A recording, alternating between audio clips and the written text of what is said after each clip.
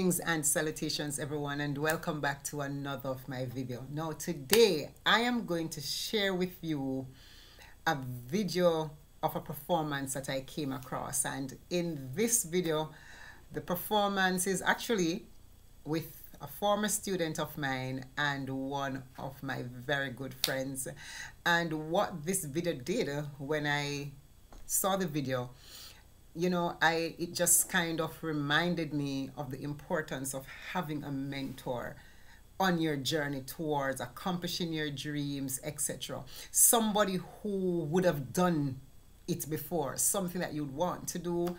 It's always good to find somebody who is already doing it and see how much you can learn from them.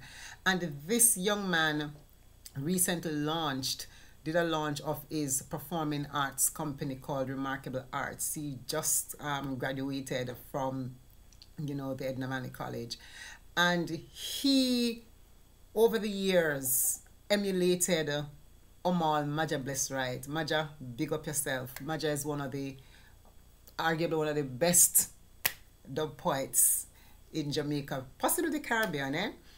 Right? And this young man has been just studying the work of, of Majah, using Majah's poems, the poems to, to build himself, you know, just build the skill and the craft of, of owning the poetry until he's got to the place where he was able to create his own the poets poetry. And so at the launch of his performing arts company, what he did he was able to pull an entire team of people together.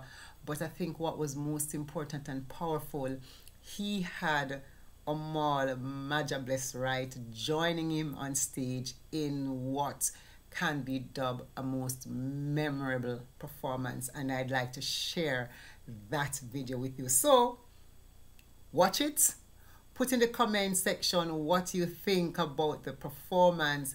And I also just want you to put in the comment section what you think about the idea of having a mentor you know somebody that you emulate on your journey towards accomplishing your goals. And if you yourself have benefited from having a mentor just share in the comment section how that assisted you in accomplishing the things that you wanted to accomplish. So let us now check out the video.